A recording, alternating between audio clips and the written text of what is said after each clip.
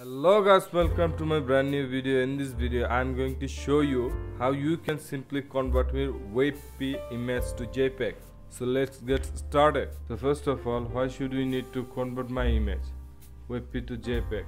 Okay now i i will show you.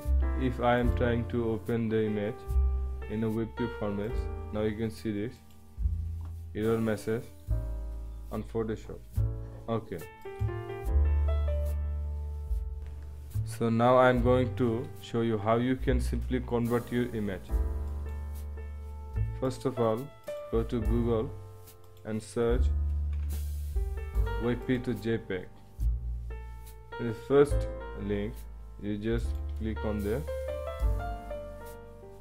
and browse your image.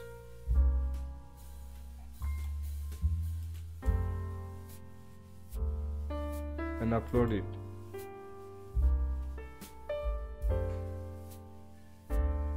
convert to JPEG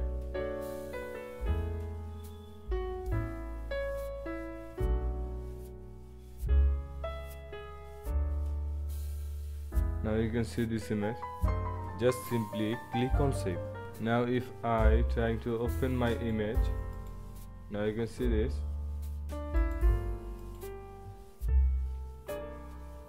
now I can open my image in Photoshop. Thank thank you so much for watching this video. If you like this video